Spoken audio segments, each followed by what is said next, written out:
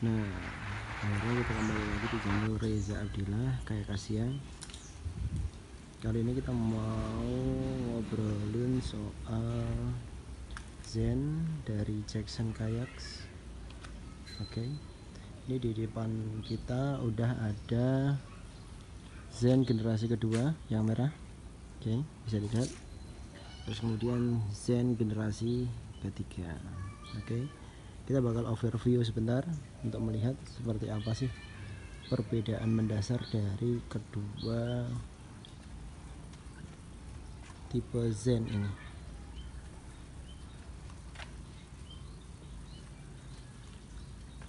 Zen 3 Z3 oke okay. sayangnya saya nggak punya Zen generasi pertamanya. Seperti itu. Oke udah cukup jelas? Bentar. kita buang dulu. Nah lebih cakep oke.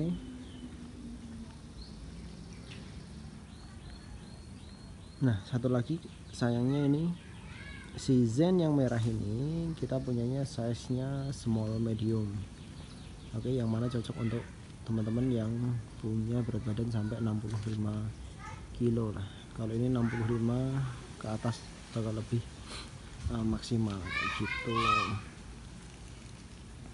Jadi kita nggak bisa membandingkan secara apple to apple.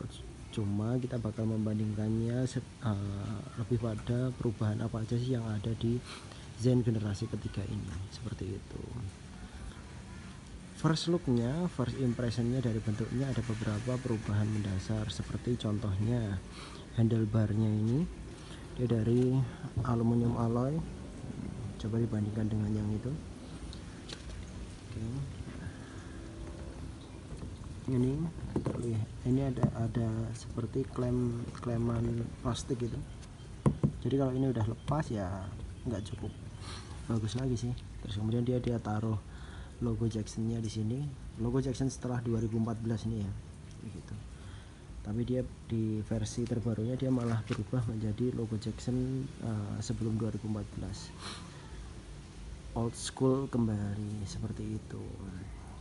Ada pengurangan uh, Jackson yang baru dia udah nggak kerjasama dengan GoPro sayangnya.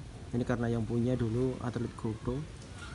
Oke udah nggak ada ya ini nah sekilas cerita ini Zen generasi ketiga kita dapatkan dari yang punya uh, anaknya sih anaknya yang punya pabrik langsung yaitu Dan Jackson.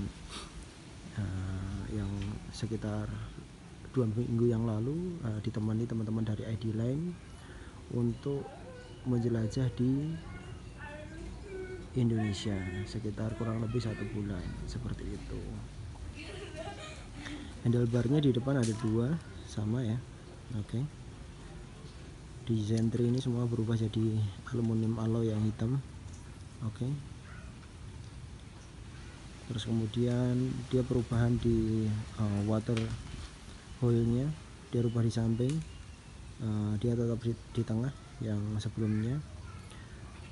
Seperti mana yang saya jelaskan bahwa perubahan di samping lebih pada bagaimana efektivitas dari uh, mengeluarkan air ketika air masuk melalui selah-selah daripada uh, spray skirt itu sendiri dikeluarkan lewat sini oke okay. kalau kita lagi nguras nah cuma memang minusnya sih tetap-tetap uh, di bagian uh, samping saya rasa sih lebih uh, lebih mudah terkena uh, ornamen dari sungai itu sendiri itu jadi cukup riskan sih gitu daripada yang di tengah saya rasa ya. Terus kemudian di kokpit kokpit Jackson nggak ada terlalu banyak perubahan. Oke okay, sebagaimana seri-seri belum sebelumnya cuma yang sekarang memang dia udah nggak fokus dengan happy seatnya dia jual terpisah. Dia tambahin sedikit ornamen di sini uh, variasi uh, ombak-ombak uh, itu warnanya. Oke okay, variasi ombak nah, terus kemudian ada logo Jacksonnya di sini oke okay. uh, kualitas materialnya sih uh, hampir sama ya dia dibikin dari ripstop oke okay. jadi kalau sobek dikit nggak bakal mudah berebet ke mana-mana seperti itu oke okay.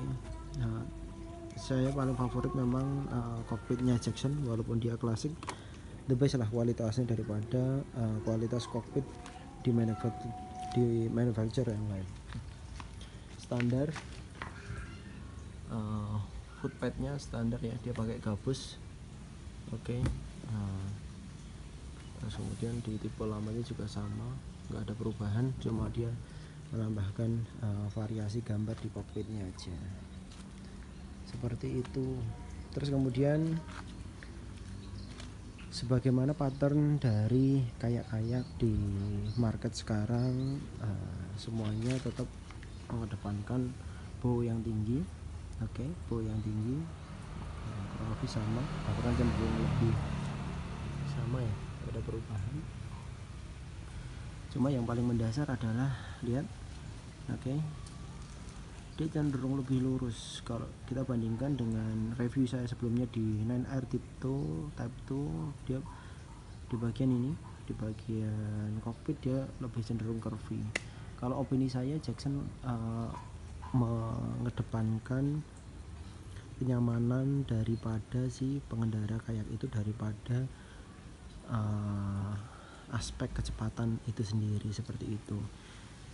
Review saya di uh, secara performa untuk uh, kayak-kayak di panjang 9 foot itu ketika mendapati uh, ombak yang besar mengenai kayak terus kemudian kita uncontrol untuk menghandle kayak uh, terus kemudian uh, varyingnya udah nggak sesuai dengan keinginan kita biasanya kita susah untuk mengembalikan lagi ke titik varying semula. Nah saya udah coba di selokan Mataram belum sampai ke sungai.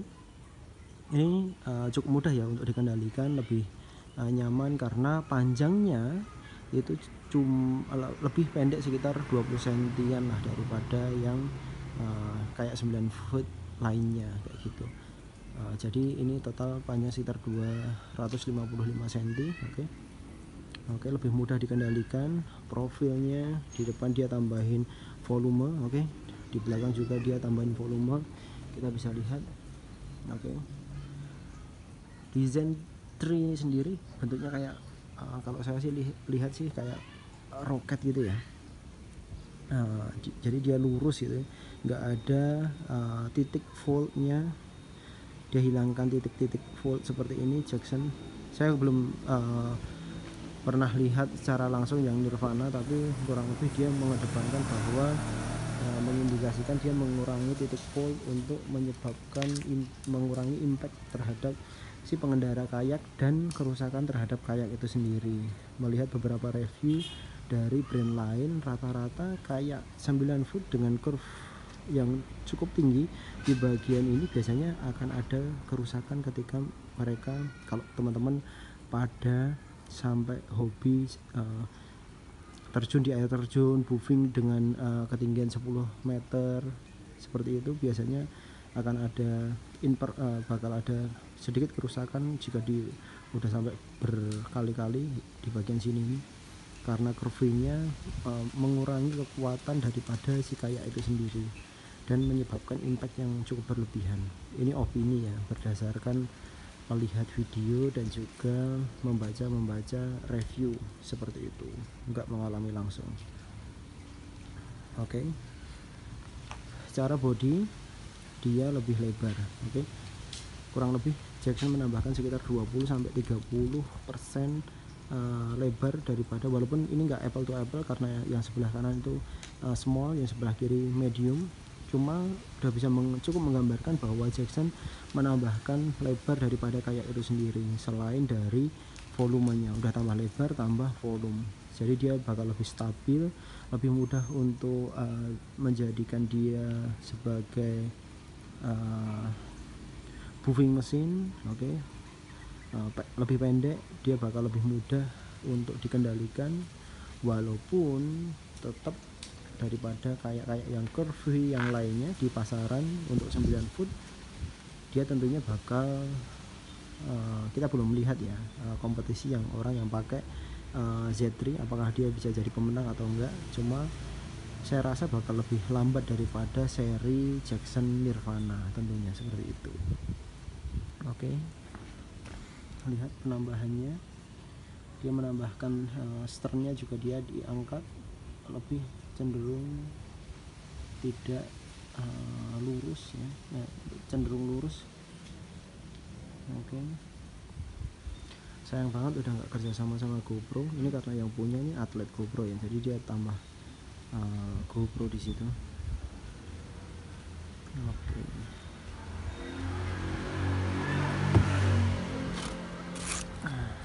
Sebagai bentuk social distancing dari kayak Asia kita mulai fokus ke review-review seperti ini.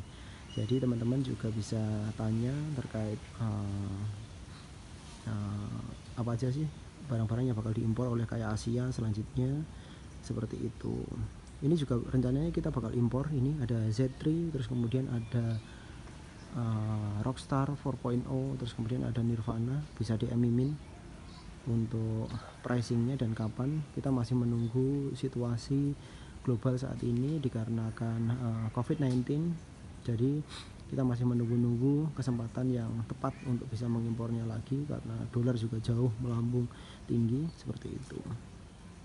Jadi bisa tanya-tanya minum dulu ya seperti apa prosesnya kalau mau pre-order seperti itu. Balik lagi nanti kita bakal review bila ada kesempatan uh, karena sekitar 14 hari ini bakal social distancing.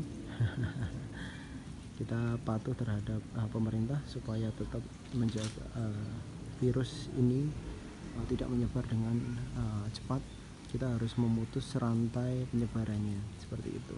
Kita bakal coba uh, balik lagi ke kayak. Kita bakal coba ini dan review bagaimana sih performanya uh, di sungai ya lebih dengan lebih detail seperti itu.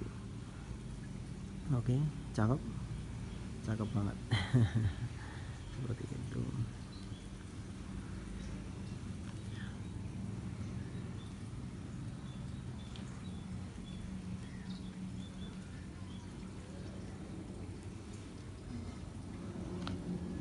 Oke, sampai jumpa di review-review kita selanjutnya dan juga tips dan trik yang bakal di selalu uh, kita bakal lebih sering update uh, terkait dengan hal-hal tersebut dari follow Instagram ataupun YouTube channel kita. Nantinya YouTube channel masih dipersiapkan.